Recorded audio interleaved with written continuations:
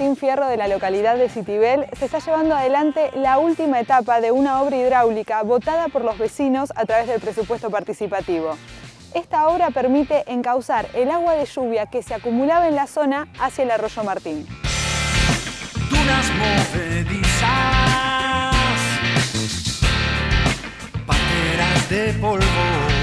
Nos encontramos en Citibel en la obra que nosotros llamamos La Salita. Estamos en la esquina de 450 y 24.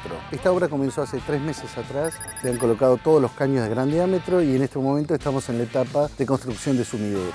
Hemos pasado una gran tormenta en los últimos días, la última semana. A pesar de que la obra no está terminada, ha funcionado correctamente. Tenemos las acometidas al conducto de las zanjas y la verdad que todo han dado 10 puntos.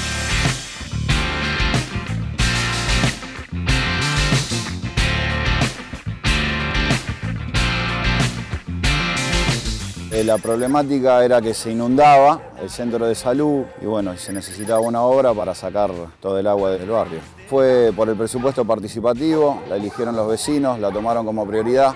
Desde la delegación hacemos tareas complementarias de zanjeo, de readecuación de las zanjas, de los cruces de calle, que son chicos, que se necesitaba cambiarlos por el tema de la obra por la gran cantidad de agua que viene. Y bueno, las calles paralelas para que el agua llegue hasta donde está la obra y viendo las necesidades que van saliendo en el día a día que transcurre la obra, vamos tomando medidas para solucionarlo. Ya están los caños colocados, las acometidas de los caños de cada uno de los sumideros ya están instalados, ahora falta terminar las embocaduras que son estos sumideros. El balance de la obra para mí es muy bueno, la recepción de los vecinos la verdad que es buenísima, era el problema del barrio. Fue una obra para mí la más importante dentro de las obras que llevamos adelante el municipio.